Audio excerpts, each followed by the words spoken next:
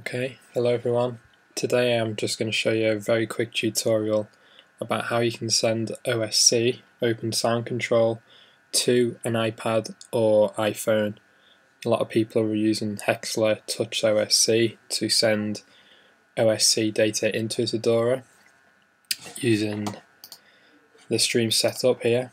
I've already pressed a few things. Basically, you make sure you're all connected to the same network, click Auto Detect, move a th few things around, they will show up here.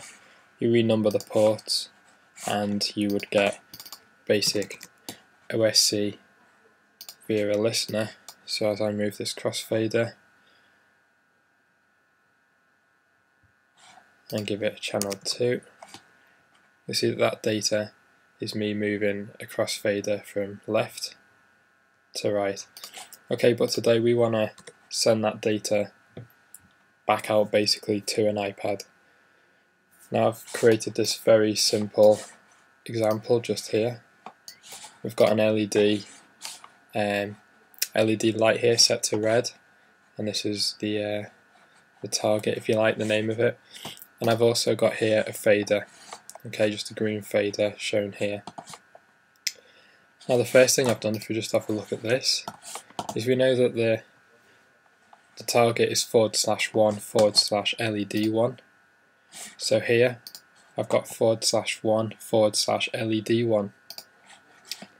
Now um, basically what I want to do is turn this LED on and off. This could be used for a number of things. You can decide what it's going to be used for yourself. And basically the first thing I've done is we need to scale this. Okay. Um, we're probably going to need it to go from 0 to 1 and I can tell you it's going to have to be that because here the range is 0 to 1 0 being off, 1 being on 99.9% .9 of the time unless you want to invert it or whatever. I've obviously uploaded this to my iPad which I've got next to me. I'm also connected to a I've created my own network here as well rather than using my works ones because they're full of proxies and firewalls so I've created my own network I have connected my iPad to that network and I've also found out the IP address which is this one. Okay so that's uh, that's my self created IP address. The port is 5001 you can change that on the iPad. I'll take a few screenshots to show you how to do that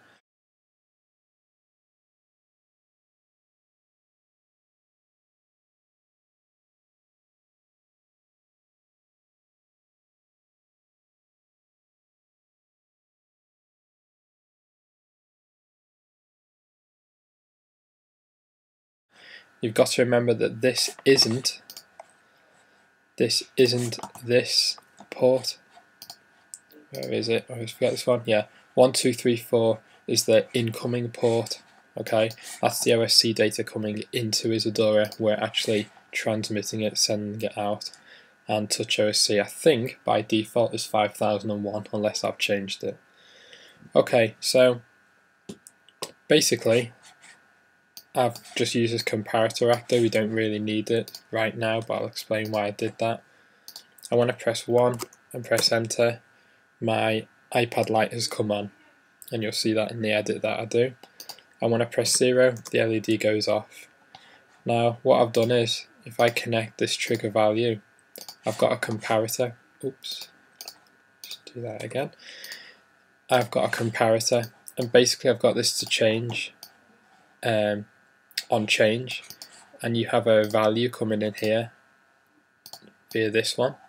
And I've got the value 2 set to 100 so basically what it's doing is this second little button here whatever value is sent into this it will tell you whether it's true or false and if it matches. So if it's true and it does reach 100 that could be 127 if it's a MIDI fader but I'll just leave it as 100 basically that's the value to say yes do something. It triggers 1 and that one goes along and goes bang and turns the LED light on yet again. If I press 0 in here and press enter, you will see that it sends this 0 along and turns the LED light off again. Right, I hope you've found that useful. There's obviously a lot more I could go into, but it's a relatively short tutorial. Uh, some of the footage that I recorded on my phone to show the iPad a little bit jumpy because my iPhone's very full of music, but hopefully it'll give you the uh, the idea that you need to understand what I was going on about. Uh, so my name's Graham Thorne. A lot of you'll know me as Skulpture on the forums and websites and stuff. Hope that's been useful. Thanks.